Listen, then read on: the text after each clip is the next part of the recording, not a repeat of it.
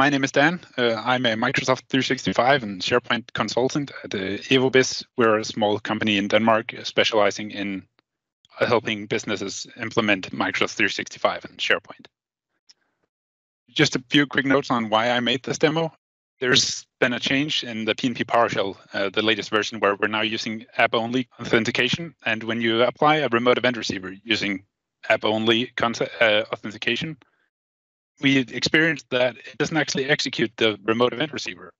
It turns out that you need a app-only principal to do that. And sometimes that's just not convenient when you just need to really quickly apply a remote event receiver.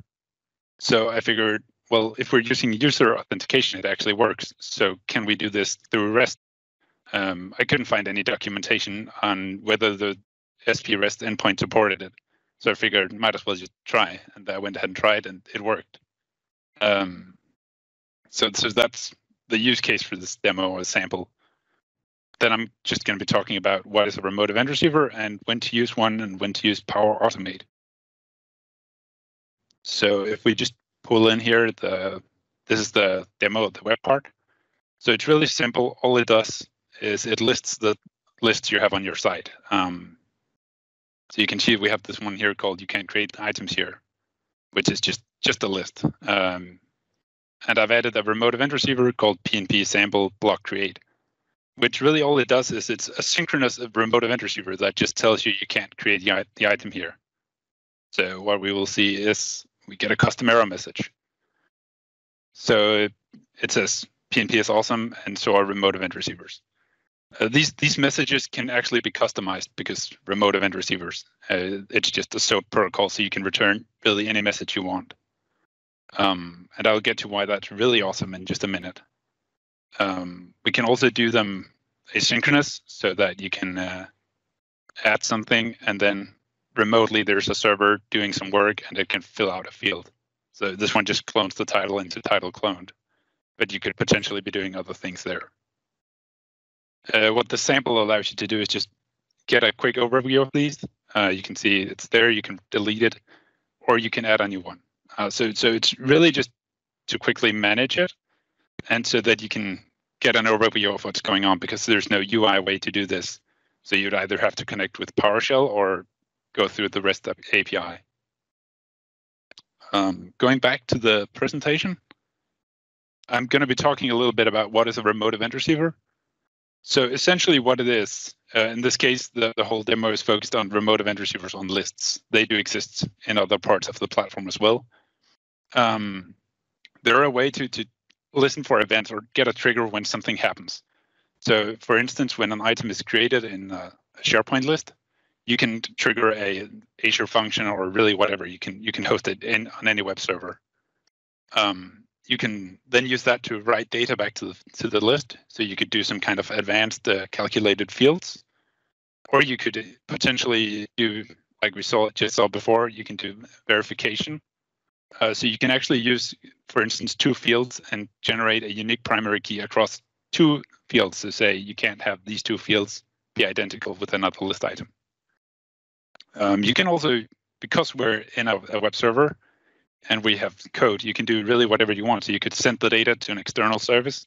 Say you're doing your own audit log on some other system, uh, or you could go ahead and get data from another service and write that back to the list uh, in case you're doing integrations to perhaps a uh, time tracking system or something.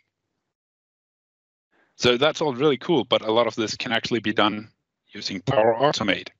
So when would you want to use when would you want to use that instead? Because I mean, obviously Power Automate is, is always preferred, and using Power Automate, we can easily do this thing where something changes.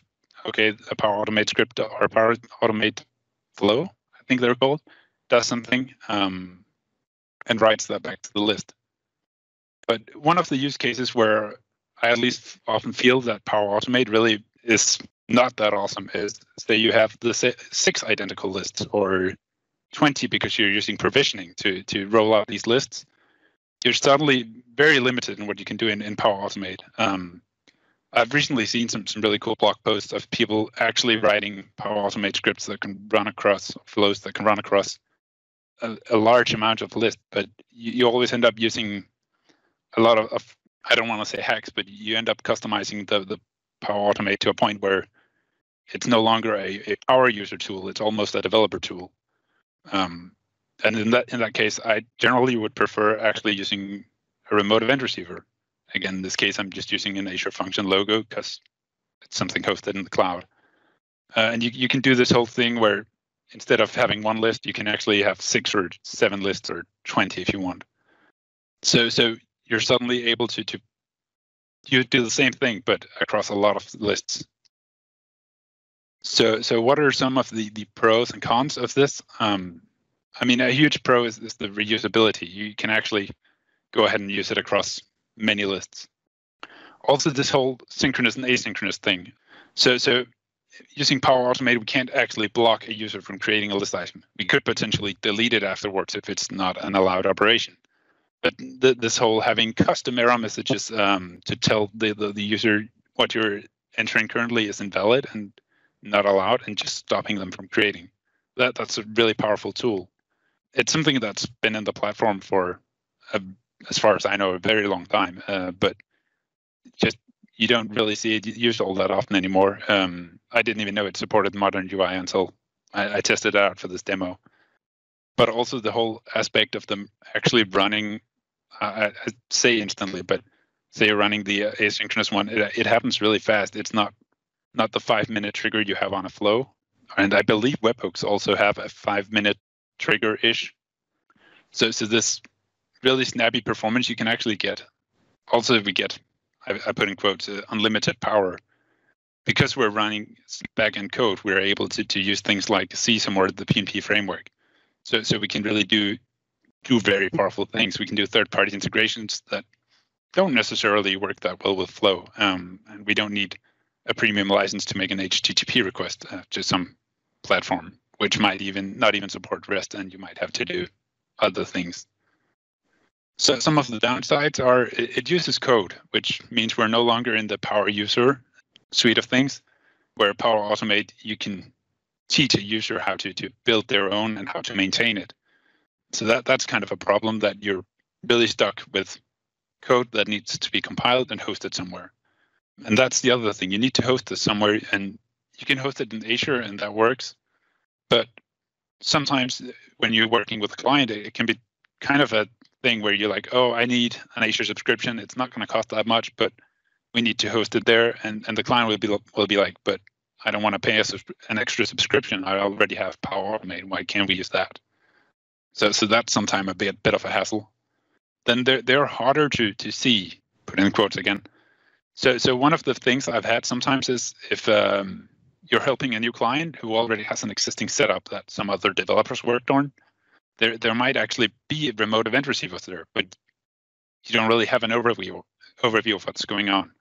Uh, this is also where the sample can be used because you can actually click in, you can see which remote event receivers on which lists. But that also leads into the, the black box aspect of it.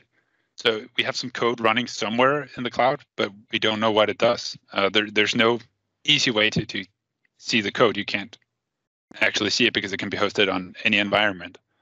Um, so so we don't know what what does this do. We can I mean we can create a list item, we can see what happens, but does it do other things? That's really hard to tell. Whereas with the flow, you can open it up, you can look at it. Another thing that we get is is the retry logic and handle logging from uh, Power Automate, where we get this really nice overview of when has this Power Automate run, did it fail, did it go well. Um, we don't really get that with remote event receivers. They're kind of fire and forget. Uh, so if it fails, it fails. Uh, you, you can obviously use application insights to have a look at if your job failed or not. Um, so, so another thing you could do is using uh, queues, and you can actually, whenever the remote event receiver triggers, you can write to a queue instead of just executing your code and saying, "Okay, I'm done." So, there's definitely some pros and cons for both. Um, and, and generally, I think you should try to prefer Power Automate because it is more maintainable. It is more of a I don't know what you say. So supported uh, feature set. It, it feels more native to the platform, and you don't need to do custom code. Which, I mean, we're all some of us are developers. We love coding, but we also need to to try and use the, the tools that we get from the from the Microsoft team. and that's pretty much it for me. Thank you. Cool really really good uh, summary dan. And, and there was a question related on deprecation plans on the remote event receivers and there's no explicit plans as such. It is an older technology uh, which we introduced many many many years ago before Graph even existed uh, but it does work. Um, the really the challenge there is that the like dan noted out is is the re, the retry logic. So if there would be a needed network disconnectivity between SharePoint Online and Azure or whatever um, then there would not be a failure handling or an exception handling on that. But really cool summary. Thank you, Dan, on that.